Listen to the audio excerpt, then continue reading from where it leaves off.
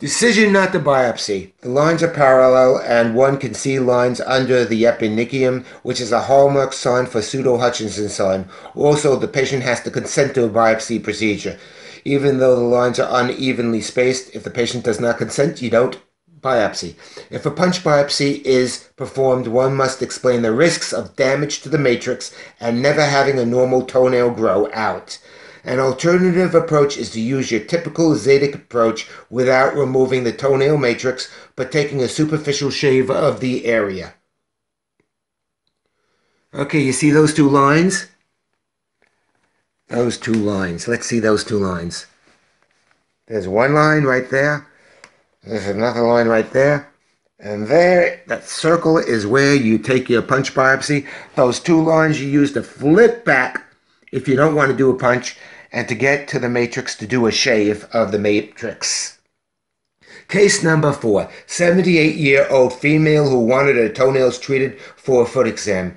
Patient's aware, not aware of any lesion, no history of skin cancer. Melanocytic lesion, network streaks, aggregated globules, globules. Okay, we're getting close up here. Take a look at this. You have a couple of aggregated globules. You have a non-uniform distribution. See the non-uniform distribution down here? Looks irregular. Most important conclusion. It is not important to diagnose if this is a melanocytic lesion versus a basal cell. If the lesion is a melanocytic lesion, it is irregular and you should biopsy it. If the lesion is basal cell, you should biopsy. So if a mistake is made, so long as a biopsy is taken, it's okay. I can't see spoke wheels, radio structures, or streaks from a central hub. I can't see leaf-like structures. Actually, I tried to see a leaf-like structure here. No such thing. A leaf-like structure? What?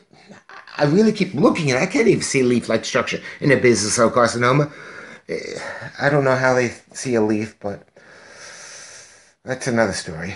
Okay, uh, there's a darkened area, okay, in the upper right that could possibly be an ulceration. See the upper right? It's darkened, possibly an ulceration. Okay. Okay, globules alone make this a melanocytic lesion, and this must be biopsied especially if the globules are ag- aggregated. Globules and melanocytic lesions are blind to the naked eye, and this is the mo- more reason why each one of us should embrace dermatoscopes with the highest polarization possible. And even if this is not globules, even if this is a basal cell, so you biopsy basal cells anyway. Here you go. Case number five. A female did not know about this lesion on the plantar aspect of her left foot no history of skin cancer, or family history of skin cancer.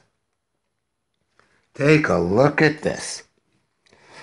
Normal network, starburst pattern with radial streaming, pseudopods, reed nevus, melanoma. What do we have? Okay, you see uniform pigment, you see. Actually, this looks quite ominous, but everything is uniform. So I would not worry that much, but wait a second. It looks like a starburst pattern. More than likely, this is a Reed's nevus, but sometimes a melanoma appears as if it's a Reed's nevus. Should this be biopsied? Is the skin above or below Wallace's line that separates your dermatoglyphic from non-glabrous skin? If it's below Wallace's line, is there a furrow pattern, ridge pattern, lattice pattern, or fibrillar pattern? Even if there is a ridge pattern, does it even matter?